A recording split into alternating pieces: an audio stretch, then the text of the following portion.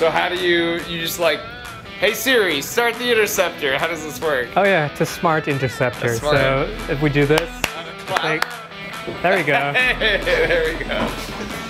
Wow.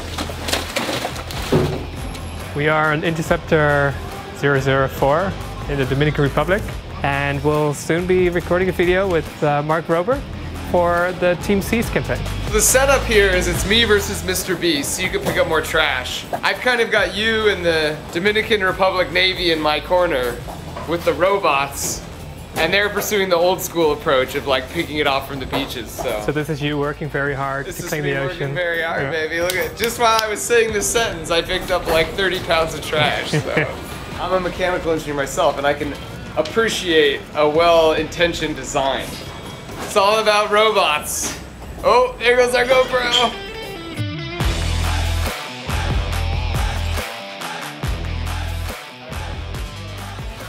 So back in 2019, uh, Mr. Beast hit 20 million YouTube followers, and he then, together with some other YouTubers, decided to organize this fundraising campaign to raise 20 million dollars to plant 20 million trees. Uh, it was called Team Trees, and it was this massive online hit, and it had a, good impact. So then, about a year ago, uh, Jimmy, Mr. Beast, he tweeted that he wants to clean the ocean and that he wants to do a, a new campaign called called Team Seas. So we replied to that, and then we also recorded a video with the uh, suggestion to, to work together. Dear Mr. Beast, one year ago you put out the wish to rid the world's oceans of plastic. And we then got overloaded with a tsunami of messages from people telling us that we should talk. So here we are.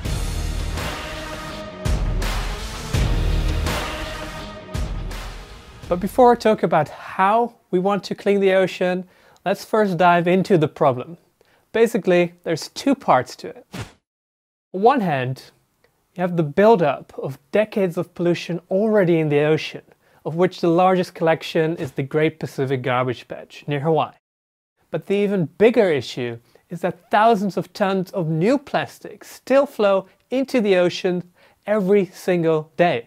Our scientists have been studying rivers around the world and found that just 1% of rivers, so 1,000 rivers, are responsible for 80% of all the plastic flowing to the ocean. So by cleaning the patches and stopping new plastic in rivers, we can basically clean our seas. And uh, now here we are one year later.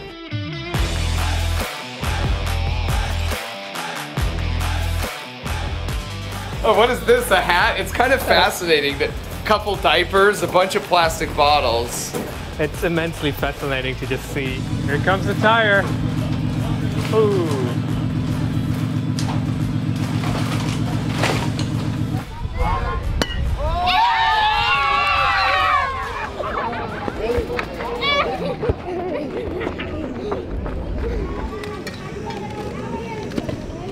we're here on one of the banks of the, the Rio Ozama. So the river is just out of sight, maybe 100, 200 meters that way.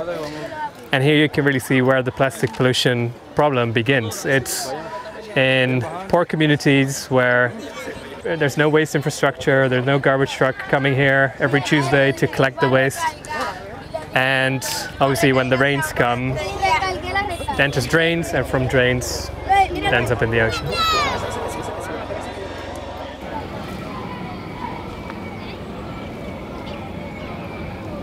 When you see, you know, the difficulties and the hardships some of these people are facing, you see what the river looks like, but it's like, it's by no fault of their own that plastic's going to the river. They don't have a better option.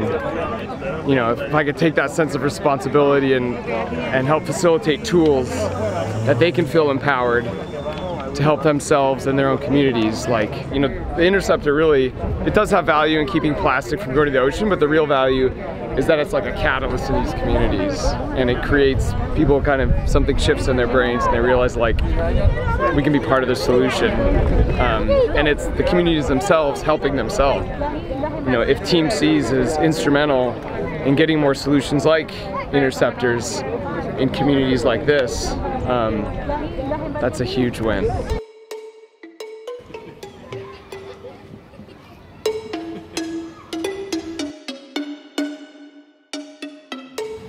For the Team Seas campaign, they will be attempting to raise $30 million to remove 30 million pounds of trash.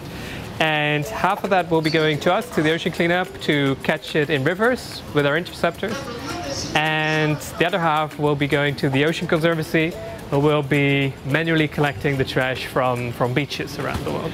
So I think it's a really cool partnership, and I think it will have a big impact on the amount of plastic in the ocean.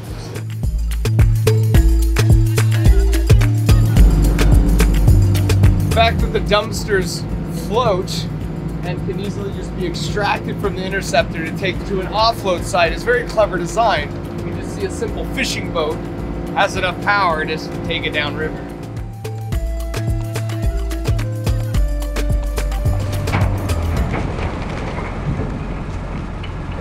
the most exciting thing in the world to me.